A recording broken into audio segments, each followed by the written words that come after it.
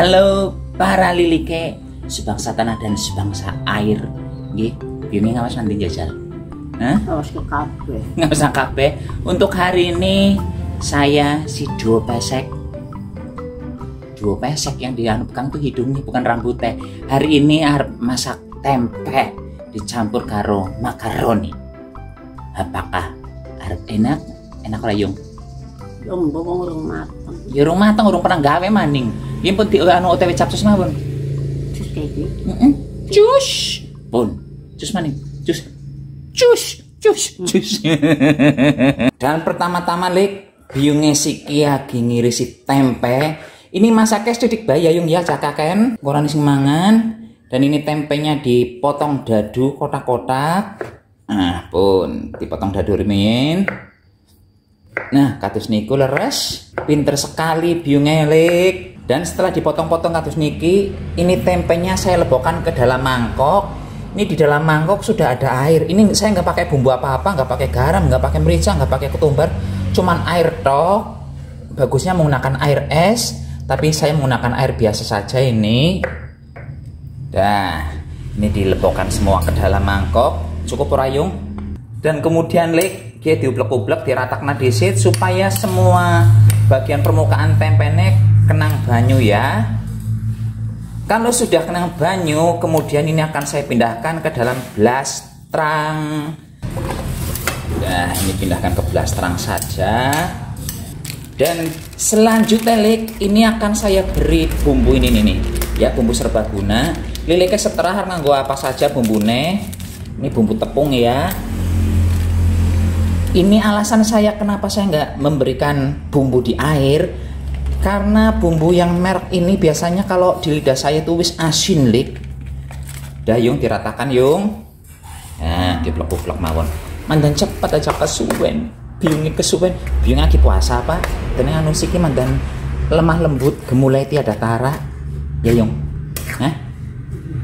Ora, ngomong sing seru yang kenang video aja ngomong kayak game anu ilmu kebatinan. Di batin nih ngomong alon banget biung ngelik. Dan kalau sudah tertutup oleh tepung semua terus gie arep digoreng saja. Monggo yung digoreng yung. Gieleng goreng nanti setengah garing ngayung ya. Oke karo biung gorengi tempe sekarang saya arep ngirisi bumbu nih bumbu nih gampang banget lik di sini lek saya perlu bawang bombay. Semisal lili keron dia bawang bombay, ya rasa nganggo bawang bombay, nganggo bawang anu brambang biasa ya.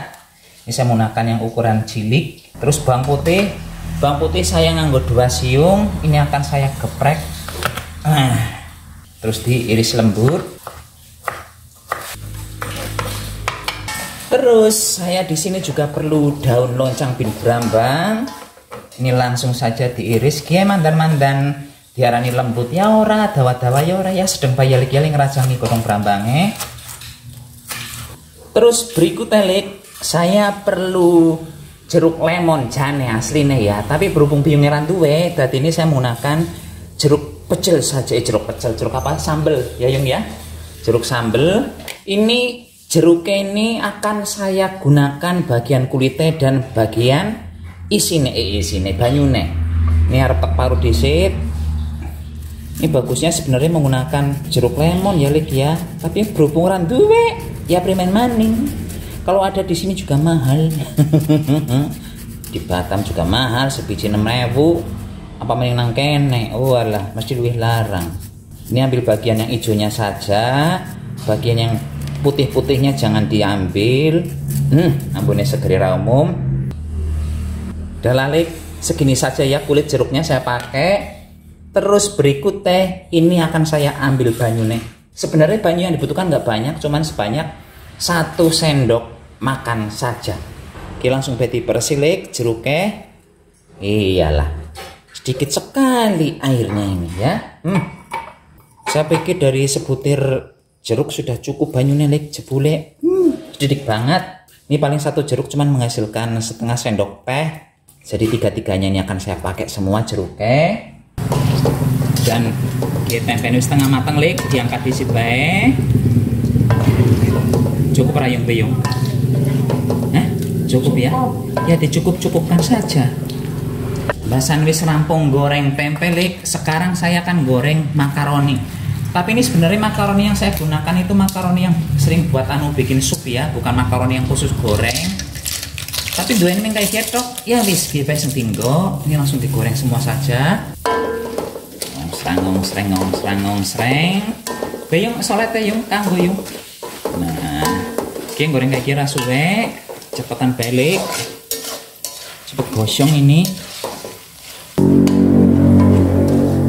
dan goreng biar nanti semenit lik langsung baik diangkat cepet banget matangnya dan kalau yang untuk sup itu makaroni ra bisa mengembang ya lik ya. Tetap cilik bayar karena bedanya ukurannya cuman ini kalau dimakan sekarang udah kriuk-kriuk renyah.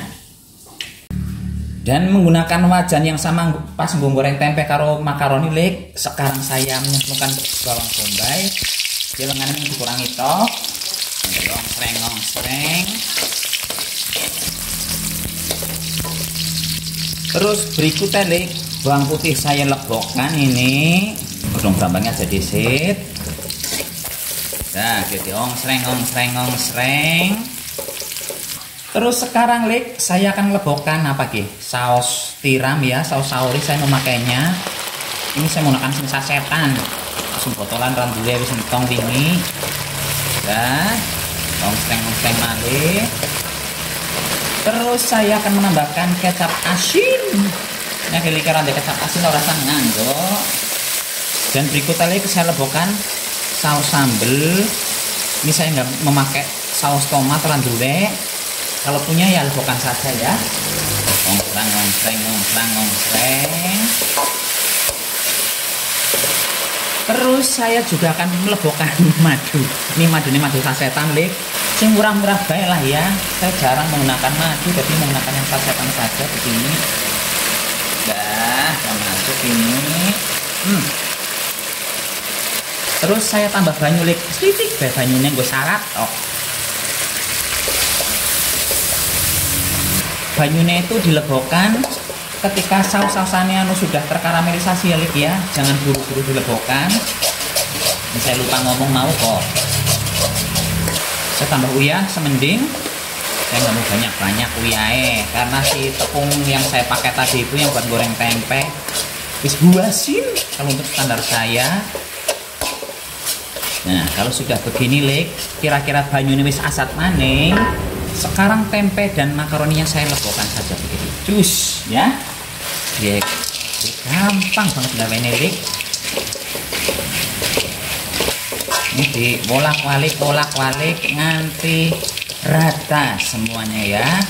Bumbunya carut kabeh di makaroni dan tempe nih saya lebokkan parutan anu kulit jeruknya sedikit baik untuk pengaroma. Kalau liliknya nggak mau pakai anu kulit jeruknya ya gunakan saja daun jeruknya ya. Daun jeruk itu anu dimasukkannya di awal-awal. Jangan di bagian akhir. Ya ini langsung saja dimatikan. Terus lek kalau kompor sudah dimatikan saya lebokkan air jeruknya ya. Nah bolak balik dalam maning uh aja takon gilik aroma nih. Endol banget dia. Dan sing bener-bener paling terakhir adalah godong brambangnya. Nah biar ada warnanya sedikit ya. Ayo klik ya monggo silahkan dicoba ini. Panganan apa bu jenengnya? Pokoknya saya pengen mencoba yang begini. Yang jelas kalau menggunakan madu ya istilahnya saus madu ya. Tapi ini tak campur baur maning. Tadi ini nyong juga belum pernah nyoba yang rasa amburadul begini. Gelek hasil akhirnya ya. Basan wis mateng wis didelana piring katus niki hasilnya ayu banget kok. Dan kalau Lilike cuma bisa melihat kecantikannya saya bisa merasakan mencium aroma wanginya dari jeruknya itu ya. Ah, endol banget. Monggo silahkan dicoba ge saate eh, eh kurang mundur. Saate ngicipi enak apa ora? Bisa ya. Hmm rasa asmi asoy. Ini mantap ada sedikit rasa-rasa pedesnya. Nah tempenya sih jelas bagian kulitnya asin ya kalau saya ya. Tapi enak lik. Kriuk kriuk sing orang wati lik. Ambonnya kulit jeruknya wangi banget. Monggo silahkan dicoba ya. Ini pun sekarang si Pesek pamit dulu sampai jumpa di video berikutnya. Anak tangannya lihat sampai jumpa di video berikutnya tetap jaga kesehatan.